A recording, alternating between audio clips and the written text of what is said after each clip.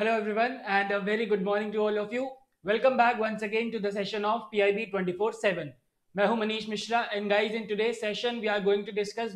various important topics. So let's start with the session but before we begin do subscribe to our channel and press the bell icon and for quiz you can also join our telegram channels all right and these are the four topics guys that we are going to discuss today. One second.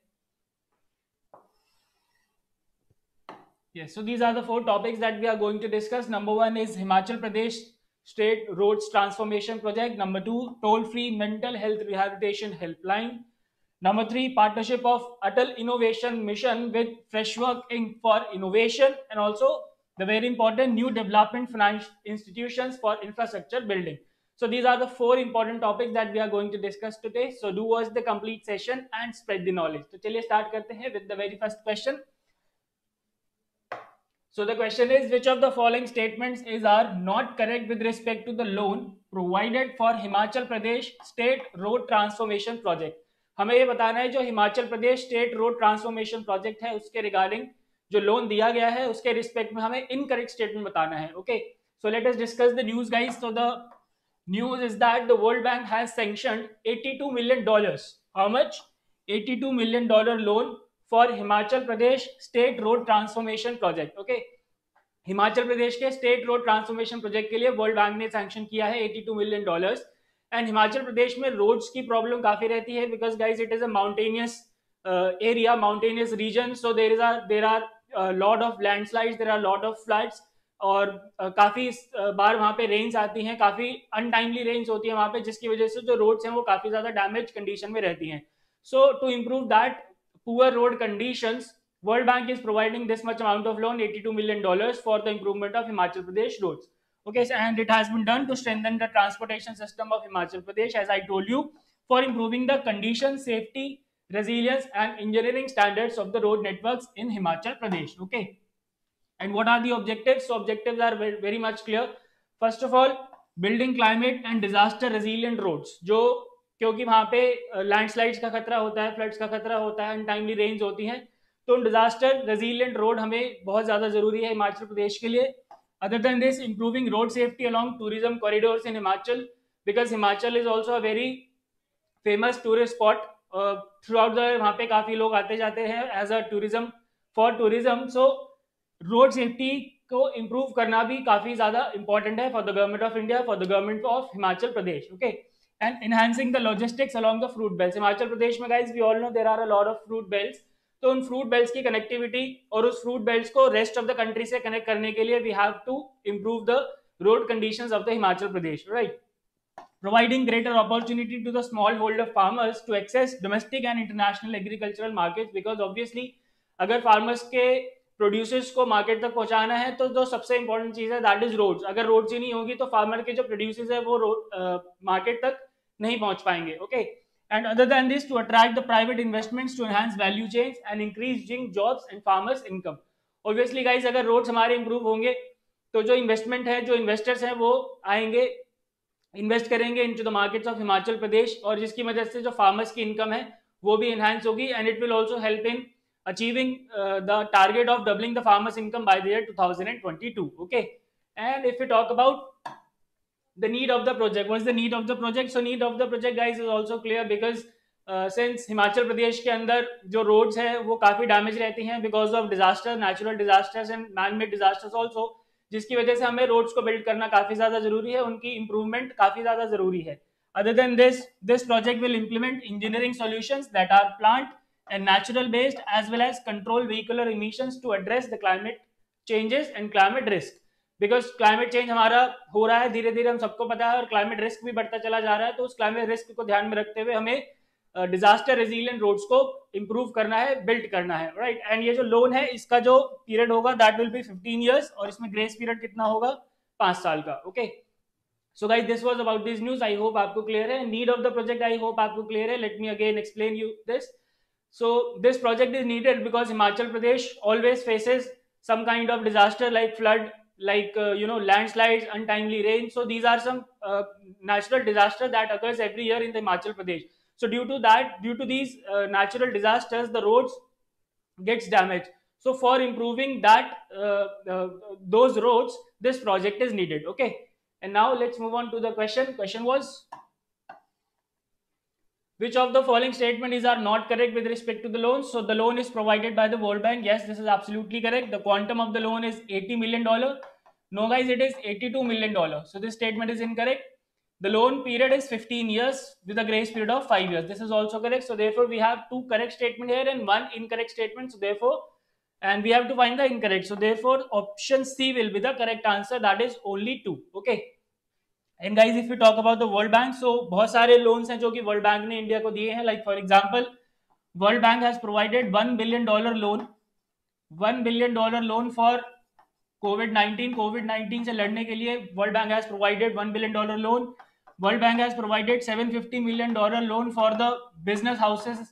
जो small business houses है उनके लिए काफ़ी एक loan दिया है जो कि हिट हो गए थे पैंडमिक की वजह से other than this 500 million dollar loan is provided by World Bank for the STARS program that we have discussed in detail.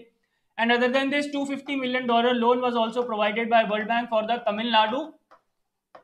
housing sector. Okay Tamil Nadu के हाउसिंग सेक्टर के लिए भी 250 मिलियन डॉलर लोन दिया गया है by the World Bank okay and Himachal Pradesh chief minister guys is mister Jairam Thakur Jairam Thakur is the chief minister and capital we all know is Shimla Shimla is the capital of Himachal Pradesh and Himachal Pradesh was the first state in our country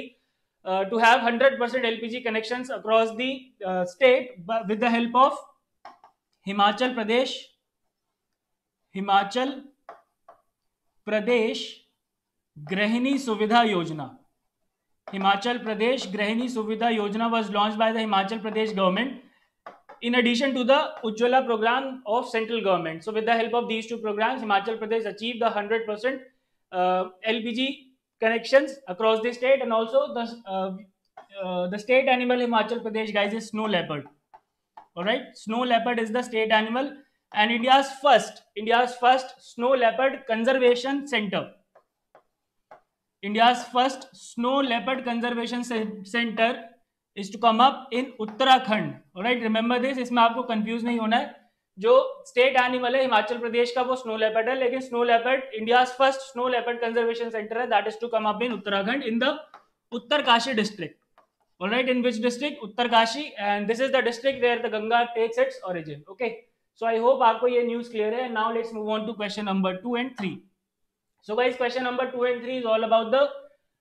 toll free helpline number for the mental health rehabilitation so let us first discuss the news of first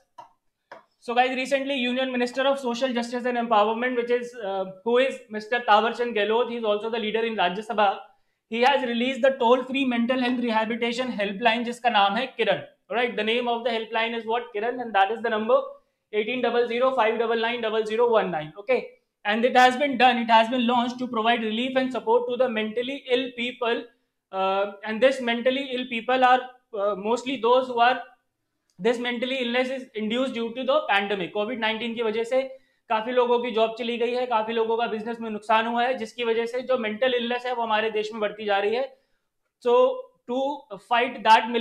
mental illness this helpline has been launched by the Ministry of Social Justice and Empowerment. And it will serve people and ex experiencing stress, anxiety, depression, and all other type of mental illnesses which are induced due to the pandemic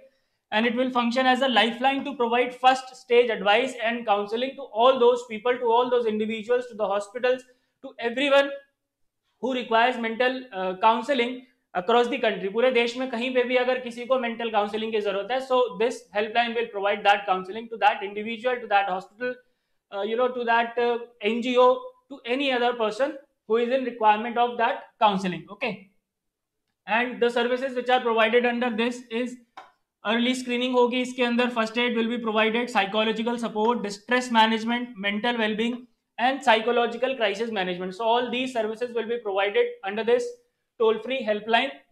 whose name is Kiran. right? And this helpline will be coordinated by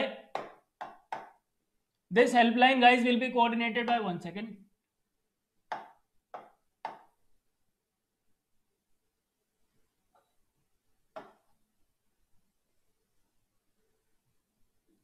Yes. So this helpline will be coordinated by the National Institute for the Empowerment of Persons with Multiple Disabilities, which is located in Chennai, in Tamil Nadu, and National Institute of Mental Health Rehabilitation, which is in Sihor in Madhya Pradesh. So these two institutes coordinate this helpline, and this helpline will remain operational 24 hours, 7 days in a week, and technical coordination of this helpline will be Bharat Sanchar Nigam Limited, and reference in this helpline will be provided in the 13 languages ये 13 languages का नाम आपको याद रखने की कोई ज़रूरत नहीं है but you have to remember that the reference will be provided in the 13 Indian languages okay and if you talk about the mental health status in the globe and within India पूरा global mental health का status क्या है और India में status क्या है? So according to W H O health report 2019 one out of every four person will have some mental problem during their entire life पूरे life में चार में से एक पर्सन हमारे दुनिया में ऐसा है जिसको किसी ना किसी तरीके की मेंटल इलनेस है। Currently four fifty million people across the world are suffering from the mental illness and mental illness is among the leading causes of the the causes की spelling is wrong leading causes of the disability okay And if you talk about India, so according to Nivans Mental Health Survey 2015-16, so the mental illness is prevalent among adults by a percentage of 10.6 and in adolescent it is 7.3%, right? And according to this report, according to this survey, the greater prevalence of mental illness is in rural, is in urban areas because you know guys, urban areas में काफी ज्यादा stress रहता है काफी ज्यादा stressful life होती है because of various reason तो अर्बन एरियाज के अंदर ज्यादा प्रेवलेंस है of the mental illness and person with low income are more susceptible according to this report in India. Okay. And if you talk about the need of this helpline, so guys, need to यहाँ पे है because we have limited number of qualified professionals in the health of mental sector mental health के sector में हमारे पास बहुत कम qualified professionals हैं इसके अलावा हमारे पास एक्यूट शॉर्टेज है क्लिनिकल साइकोलॉजिस्ट और रिहेबिलिटेशन साइकोलॉजिस्ट की and other than this we have absence of Universal dedicated helpline with respect to the mental illness okay mental illness के लिए हमारे पास कोई भी हेल्पलाइन नहीं है जिससे कि जो पेशेंट्स हैं वो अपने आप अपनी जो ग्रीवेंसेज है उनको रिड्रेस कर सके right so this is about this news guys now let's move on to question number two and three question number two is what Recently, a toll-free helpline number for mental health rehabilitation was launched by the Ministry of Social Justice and Empowerment. What is the name of the helpline? So, guys, the name of the helpline is what? Kiran, we have discussed this. And question number three is with respect to the mental health status in our country find the correct statement so mental illness is more prevalent in rural areas no it is more prevalent in urban areas rich people are more susceptible no they are not more susceptible in fact जो poor हैं वो ज़्यादा susceptible हैं and prevalence among adults is 10.6%. So this statement is absolutely correct and we have to find the correct statement. Therefore option E, only 3 will be the correct answer. And now guys, let's move on to the next news which is about the Atal Innovation Mission partnership.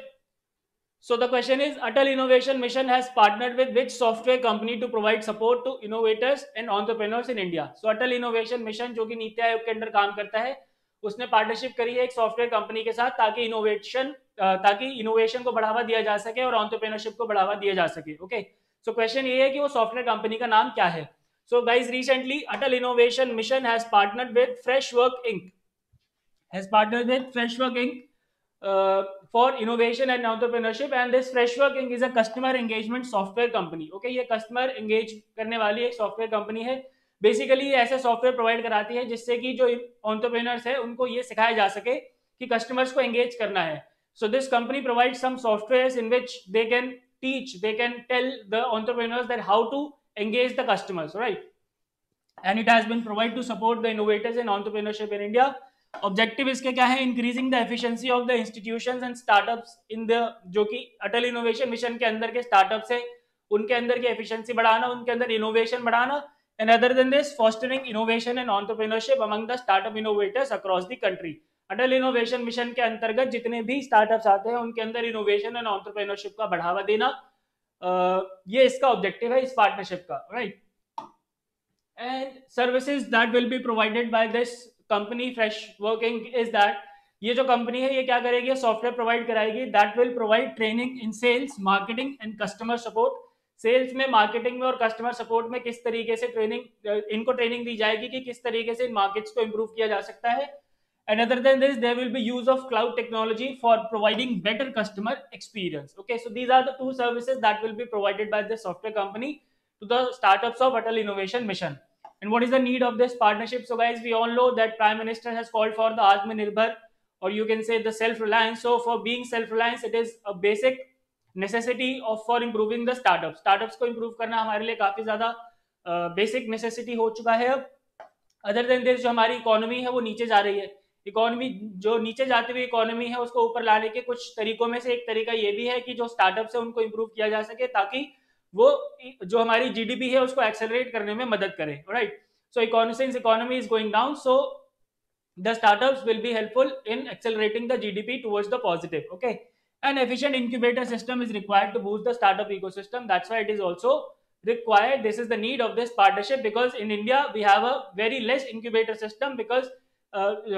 incubator system guys is very necessary for building up of a startup उनको starting में training देने के लिए उनको एक proper environment atmosphere provide कराने के लिए we should have a proper incubator system efficient incubator system and we are and we have very less amount of incubator system in our country okay so this is about this news now let's move on to the question so guys the correct answer should be what so the correct answer should be the fresh work inc So NITI Atal Innovation Mission, NITI Aayog has partnered with Freshwork Inc. to provide support to the innovators and entrepreneurs in India. All right. And now let's move on to question number five. Where is it? Yes. So question number five is, five is about the development finance institutions. Question is with respect to development financial institutions in India, we have to identify the correct statement. India के अंदर जो development finance institutions है उनके respect में हमें correct statement बतानी है okay so recently government ने अनाउंस किया है that it will set up a development finance institution for the infrastructure funding अब आप सबको याद होगा that national infrastructure pipeline was introduced for the for five years two thousand twenty twenty to twenty twenty five in which we have a target to to to spend triple one lakh crore for building up of a world class infrastructure for improving the life of our citizen okay so उसी को fund करने के लिए this development finance institution will is is going to be launch by the government of India okay? So it has been launched it will be launched to fill the gap in the long term finance infrastructure and remember this इसको भी launch नहीं किया गया government is planning to do this okay and इसके बारे में अगर हम बात करें तो it will be issued to finance both it will be used to finance both social and economic infrastructure project जितने भी social और economic infrastructure है उन सभी को ये finance करेगा एंड अदर देन दिस ये गवर्नमेंट वाला ये गवर्नमेंट सेक्टर का भी हो सकता है and it can also be private sector जिसमें प्राइवेट सेक्टर का जो शेयर होगा that will be 49 percent okay it can be of two types either government promoted or private sector with restriction on holding on private company up to 49 percent okay? But अभी ये चीज़ decide नहीं की गई है by the government कि ये किस तरीके का होगा okay and if you talk about one second yes if you talk about the issues in infrastructure funding so issues क्या हैं इंफ्रास्ट्रक्चर फंडिंग में? ज़रूरत क्या है गवर्नमेंट को ये चीज़ लॉन्च करने की? सो so, गाइज़ इंडिया में जो बैंक्स हैं वो अब एनेबल हो गए हैं क्रेडिट देने के लिए लॉन्ग टर्म क्रेडिट देने के लिए because there are a lot of NPAs that have been accumulated in the past few years so because of this governments are banks are enable to provide the long term credit okay so since banks are enable to provide long term loans to infrastructure projects due to their rising NPAs this new development finance institution will be launch by the government of India okay and जो D F Is है India में, उनकी क्या history है? So after independence सबसे पहला जो D F I था development finance institution was launch and its industrial finance corporation of India it was launch in the 1948 उसके बाद काफ़ी सारे डेवलपमेंट फाइनेंस इंस्टीट्यूशन लॉन्च हुए लाइक आई तो हो चुका था IDBI IIBI NABARD EXIM bank लेकिन अब क्या है कि ये धीरे धीरे जितने भी डेवलपमेंट फाइनेंस इंस्टीट्यूशन है लाइक आईसीआईसीआई बैंक होगा आईसीआईसीआई बैंक हो गया और इसके अलावा आईडीएफसी बैंक हो गया, इन सबने अपने आप को यूनिवर्सल बैंक में कन्वर्ट कर लिया है and till date today we have very less development finance institution और जो भी हमारे पास है they all are sector specific like for example in NABARD is agricultural specific rural electrification corporation is electricity specific और you can say power specific so we have sector specific development finance institution अब जो कि बच गए हैं okay and बाकी जितने भी थे, उन सबने अपने आप को यूनिवर्सल बैंक में कन्वर्ट कर लिया है. And if you talk about this national infrastructure pipeline so it was announce by finance minister in her budget speech of 2019-20 और ये गवर्नमेंट का पहला इनिशिएटिव है जो for building world class infrastructure for improving the life of citizen of India it will play significant role in fulfilling India goal of becoming a five trillion dollar economy by two thousand and total triple one lakh crore rupees इसमें spend uh, किया जाएगा over a period of five year and it will finance both economic and social infrastructure and both greenfield and brownfield projects. Now, what is this greenfield and brownfield projects? So, greenfield projects, guys, are the new ventures, while brownfield projects are the existing ventures. अगर existing venture में भी fund लगाने की जरूरत है so under this national infrastructure pipeline, that fund will be provided in that uh, brownfield infrastructures. Okay. And ये जो triple one lakh crore होगा that will be distributed in the ratio of 39, 40, 21 between center, state and the private companies. And it, it was recommended by Atanu Chakravarti committee. Alright, Atanu Chakravarti committee बनाई गई थी उन्होंने recommend किया था that triple one lakh crore should be spended and जो ratio होगा that should be thirty nine forty twenty one जब announce हुआ था national infrastructure pipeline the total corpus was 100 lakh crore but later it was increase to triple one lakh crore and initially the ratio was 39 39 22 but later it was changed to 39 40 and 21 okay and now let's move on to the question guys question is first dfi was established first dfi was established in the year 1948 yes this is absolutely correct currently only sector specific dfis are available in india this is also correct NABARD has converted itself into a universal bank in 1992. No, this is incorrect. NABARD is still a development financial institution uh, in the agricultural sector. So this statement is incorrect and we have to find the correct. So therefore option A, only 1 and 2 will be the correct answer. Okay. And guys, that's it for the session today. I hope you like it. For more updates do subscribe our channel and press the bell icon आपको session कैसे लगा? Please comment करके ज़रूर बताएँ। Thank you so much for watching goodbye take care and God bless